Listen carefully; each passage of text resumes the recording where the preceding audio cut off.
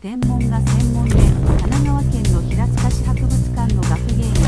藤井大地さんが撮影し